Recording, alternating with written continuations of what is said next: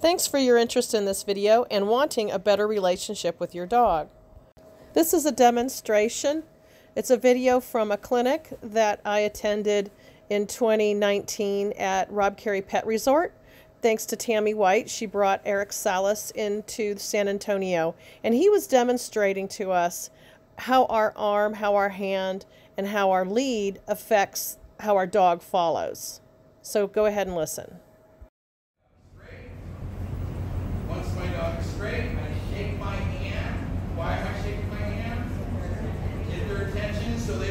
square up on my shoulders.